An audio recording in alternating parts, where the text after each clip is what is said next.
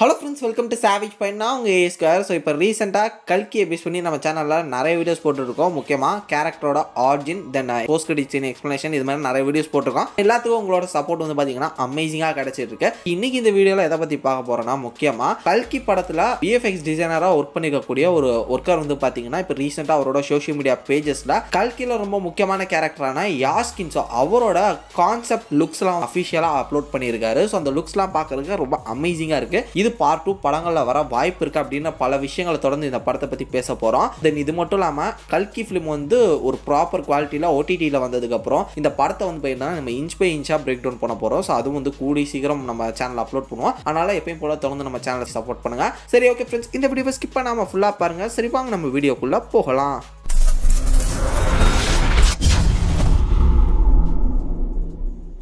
சரி இப்போ கல்கி படம் ரிலீஸ் ஆகி ஒரு பயங்கரமான சக்ஸஸ் கிட்டத்தட்ட ஒரு செவன் ஹண்ட்ரட் க்ரோஸ் வந்து பார்த்தீங்கன்னா கலெக்ட் பண்ணியிருக்குன்னு சொல்லிட்டு அஃபிஷியலாக அவங்க ப்ரொடக்ஷன் சைட்லேருந்தே ட்வீட் பண்ணியிருக்காங்க இப்படி இந்தியாவில் வந்து பார்த்தீங்கன்னா ஒரு மிகப்பெரிய மெகா பிளாக் பஸ்டர் ஃபிலிமாக இப்போ கல்கி அமைஞ்சிருக்கு. ஸோ இந்த ஒரு வெற்றியெல்லாம் தொடர்ந்து நிறையா BTS images video clips then இது மாதிரி கான்செப்ட் ஆர்ட்ஸ்லாம் வந்து பார்த்தீங்கன்னா ப்ரொடக்ஷன் சைடில் வந்து அப்படியே ஒவ்வொருத்தராக ரிலீஸ் பண்ணிக்கிட்டு இருக்காங்க. அதில் அஜய் ஸ்ரீகுமார்னு சொல்லக்கூடிய ஒரு விஎஃப்எக் டிசைனர் இவர் வந்து நிறைய படங்களுக்கு ஒர்க் பண்ணியிருக்காரு. கல்கிக்குமே ஒர்க் பண்ணியிருக்காரு. முக்கிய முக்கியமாக இந்த யாஷ்கின் கேரக்டருக்கு வந்து பார்த்தீங்கன்னா இந்த ஒரு கேரக்டர் டிசைன் எப்படி இருக்கணும்னு சொல்லி டிசைனராக இவர் வந்திருக்காரு. நிறைய கான்செப்ட் ஆர்ட்ஸில் நிறைய லுக்ஸ் ட்ரை பண்ணியிருக்காங்க. ஆர்மரோட இருக்கிற மாதிரி நிறைய வித்தியாசமான லுக்ஸில் இருக்கிற மாதிரி கமல்ஹாசன் சாரை வந்து பார்த்தீங்கன்னா டிசைன் பண்ணியிருக்காங்க. இப்போ அவர் சோஷியல் மீடியாவில் அப்லோட் பண்ணியிருக்க இந்த ஒரு லுக்ஸ் எல்லாமே வந்து பார்த்தீங்கன்னா ஃபெயிலியர் அதாவது எப்படி சொல்கிறதுனா இந்த லுக்ஸ்லாம் வந்து வேணான்னு சொல்லி அவாய்ட் பண்ணிட்டு தான் இப்போ ஃபைனலைஸ்டாக நம்ம படத்தில் பார்த்தா அந்த ஒரு லுக் வந்து வந்திருக்கு. இதெல்லாம் ரிஜெக்டட் கான்செப்ட் ஆர்ட்ஸ்னு சொல்லிட்டு அவர் வந்து மென்ஷன் பண்ணி தான் அப்லோட் பண்ணியிருக்காரு. பட் பட் இருந்தாலும்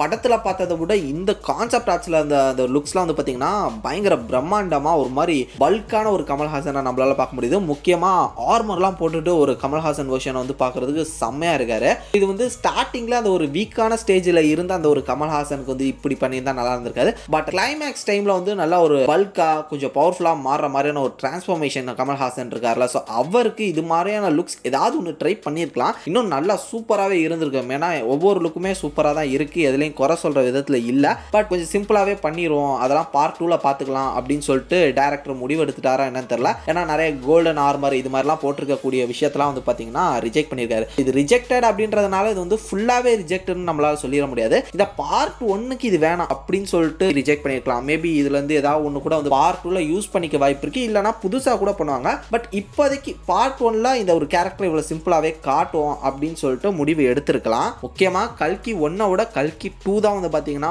பயங்கர மாசாக இருக்க போது ஒரு மாதிரி கதை ஃபோக்கஸ்டாக இருக்க போது அப்படின்றது வந்து நமக்கு இப்போவே புரிய ஆரம்பிக்குது. ஏன்னா கல்கி டூவில் வந்து பார்த்தீங்கன்னா கிரிஞ்சி சீன்ஸ்லாம் நிறைய இருக்க போகிறது இல்லை. லைக் கல்கி ஒன்ல வந்து பல ஃபேன்ஸ் வந்து கலாச்சி தள்ளின ஒரு விஷயம் என்னன்னா பிரபாஸோட அந்த ஒரு சில சீக்வன்ஸ்லாம் வந்து கட் பண்ணியிருக்கலாம். அவரோட அந்த ஒரு சீக்வன்ஸ்லாம் பார்க்குறதுக்கு ரொம்ப கிரிஞ்சாக இருக்குது அப்படின்னு சொல்லிட்டு தான் வச்சிருந்தாங்க. பட் பார்ட் டூவில் அது மாதிரியான சீக்வன்ஸ் நிறைய இருக்க வாய்ப்பு இல்லை. ஏன்னா ஃபுல்லாகவே ஸ்டோரியை ஃபோக்கஸ் பண்ணி தான் இருக்க போகுது. முக்கியமாக கமல்ஹாசனோட கேரக்டர் நிறைய பேர் வந்து நம்ம களி அப்படின்னு தான் சொல்லியிருந்தோம். பட் கமெண்ட் செக்ஷன்லேயே நிறைய பேர் என்ன சொன்னீங்கன்னா களி அவங்க இன்னும் கன்ஃபார்மே பண்ணல. அதனால நம்ம களி முடிவு பண்ண வேணாம் அப்படின்னு சொல்லியிருக்கீங்க. அது வந்து கரெக்ட் தான். நீங்கள் சொல்கிற மாதிரி அப்படியே ஒரு பாயிண்ட் ஆஃப் வியூல பார்த்தா அதுவுமே கரெக்ட் தான். ஏன்னா யாருமே வந்து இவரை களி அப்படின்னு சொல்லிட்டு மென்ஷன் பண்ணல. இவருக்குன்னு ஒரு பேருக்கு அது வந்து சுப்ரீம் யாஸ்கின் ஸோ அந்த ஒரு பேரை வச்சு தான் கூப்பிட்டு இருக்காங்க பட் யாஸ்கின் அப்படின்றது வந்து பார்த்தீங்கன்னா களியை ரெப்ரசென்ட் பண்ணுற மாதிரி இருக்கா அப்படின்னு கேட்டிங்கன்னா இது வந்து புதுசாக இவங்க வச்சிருக்காங்க இந்த ஒரு பேரை. யாஸ்கின்ற ஒரு பேர் வந்து இந்த படத்துக்காக தான் நாகாஸ்வின் வச்சிருக்காரு. அதனால இந்த ஒரு பேர் சேம் கேரக்டர் தான் கலியா கூடி சீக்கிரம் உருவெடுக்க போகுதா அப்படின்ற ஒரு கேள்வி நமக்கு எழுந்து ஏன்னா நிறைய பேர் வந்து பார்த்தீங்கன்னா கமெண்ட் செக்ஷனில் நம்ம கமெண்ட் பண்ணி பார்த்துருக்கோம். ஸோ இந்த மாதிரி அர்ஜுனன் கேரக்டரோட ரீஇன்கார்னேஷனாக தான் நம்ம கமல்ஹாசன் வந்திருக்காரு யாஸ்கின் வந்திருக்காரு அந்த காண்டியத்தை தூக்குறாரு பாருங்க. அப்படி பார்க்கும்போது அதுவாக தான் இருக்கணும். ஏன்னா இங்கே கர்ணன் மறுபடியும் ரீஇன்கார்னேட் ஆயிருக்காருன போது மகாபாரதம் போர்ஷன் மறுபடியும் இங்கே அட்வான்ஸ்டு இந்த ஒரு டைம் லைனில் வந்து நடக்க போகுது. மகாபாரதமே மறுபடியும் நடக்க போகுது. ஆனால் இந்த டைம் வந்து பார்த்தீங்கன்னா கர்ணன் வந்து ஹீரோ சைடும் நம்ம அர்ஜுனன் ஸோ இவங்களாம் வந்து பார்த்தீங்கன்னா வில்லன் சைடு இருக்கிற மாதிரி காட்டலாம் அப்படின்ற மாதிரியும் ஒரு தியரி ஒன்று போய்கிட்டு இருக்கு. பட் என்ன கேட்டிங்கன்னா அது வந்து எப்படி நடக்க போகுது அப்படின்றது வந்து ஸ்டில் எனக்கு தெரியல. பிகாஸ் சுப்ரீம் யாஸ்கின் தான் சொல்லியிருக்காங்க. அவரை வந்து ஃபுல்லாகவே அர்ஜுனன் அப்படின்னும் சொல்லி மென்ஷன் பண்ணல. அவரை களி அப்படின்னும் இன்னும் பேர் வச்சு மென்ஷன் பண்ணல. பட் இப்போ வரையும் விக்கிபீடியாவில் அந்த ஒரு கேரக்டர் வந்து களி அப்படின்னு தான் மென்ஷன் பண்ணியிருக்காங்க. ஸோ கேஸ்ட் லிஸ்ட்ல இருந்து அந்த ஒரு படக்குழுவுலேருந்தே களி அப்படின்னு தான் போட்டிருக்காங்க. அப்படி பார்க்கும்போது வெயிட் பண்ணி பார்ப்போம். நம்ம எதையும் உடனடியாக முடிவு பண்ணி பண்ணிட வேணாம். தென் இது மட்டும் இல்லாமல் இன்னொரு ஒரு முக்கியமான விஷயத்தை வந்து பார்த்தீங்கன்னா நான் பேச விட்டுட்டேன். லாஸ்ட் வீடியோவில் ஸோ அதையும் வந்து இதில் பேசிடலாம் கவர் பண்ணிடலாம் அப்படின்னு சொல்லிட்டு தான் இந்த ஒரு வீடியோ முக்கியமாக டிக்யூ நம்ம துல்கர் சல்மானோட கேரக்டர் வந்து பார்த்தீங்கன்னா ஒரு மிகப்பெரிய கேரக்டராக இந்த கல்கி படத்தில் இருந்திருக்கு. பட் நம்ம நிறைய பேர் அந்த ஒரு கேரக்டரை பற்றி அவ்வளோவா நோட்டீஸ் பண்ணல. அந்த ஒரு கேரக்டர் வந்து கேப்டன் அப்படின்ற மாதிரி கூப்பிட்டுருப்பாங்க.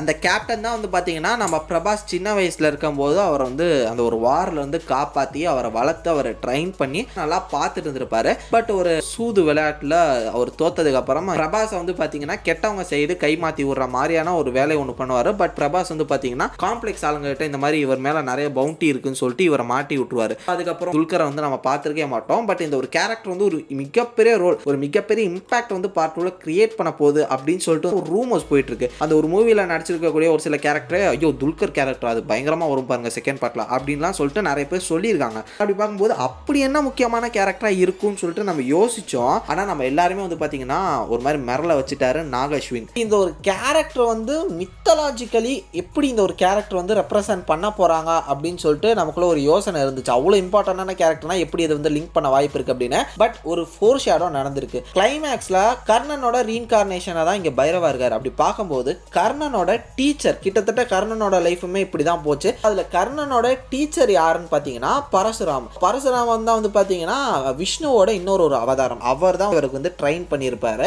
அவரோட ரீஇன்கார்னேஷனாக வந்து பார்த்தீங்கன்னா இங்கே இவர் இருக்காரு அப்படின்ற மாதிரி சொல்கிறாங்க இன்னொரு சிலர் என்ன சொல்கிறாங்கன்னா பரசுராமனுக்கு வந்து சாவே கிடையாது. அவர் வந்து கிட்டத்தட்ட அஸ்வத்தமா மாதிரி தான் அவருக்கு வந்து சாவே கிடையாது. அதனால சேம் அதே கேரக்டர் தான் இன்னும் உயிரோட இருந்துகிட்டு இருக்காரு. அவருக்கு வயசே ஆகாது. அவர் தான் வந்து பார்த்தீங்கன்னா விஷ்ணுவோட ஒரு அவதாரம். ஸோ அவர் இன்னும் இருக்காரு அப்படின்னு சொல்லி ஒரு தியரி ஒன்று போகுது. மறுபக்கம் துல்கர் சல்மான் வந்து பார்த்தீங்கன்னா பரசுராமோட ஒரு ரீஇன்கார்னேஷன் அப்படின்னு சொல்றாங்க.